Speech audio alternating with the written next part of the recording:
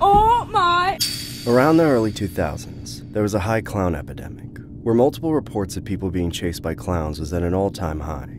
Most were classified as pranks, but regardless of their intentions, it was downright terrifying. The next story was inspired by some footage of a Ronald McDonald terrorizing someone at McDonald's. Here's what it looked like. Oh my!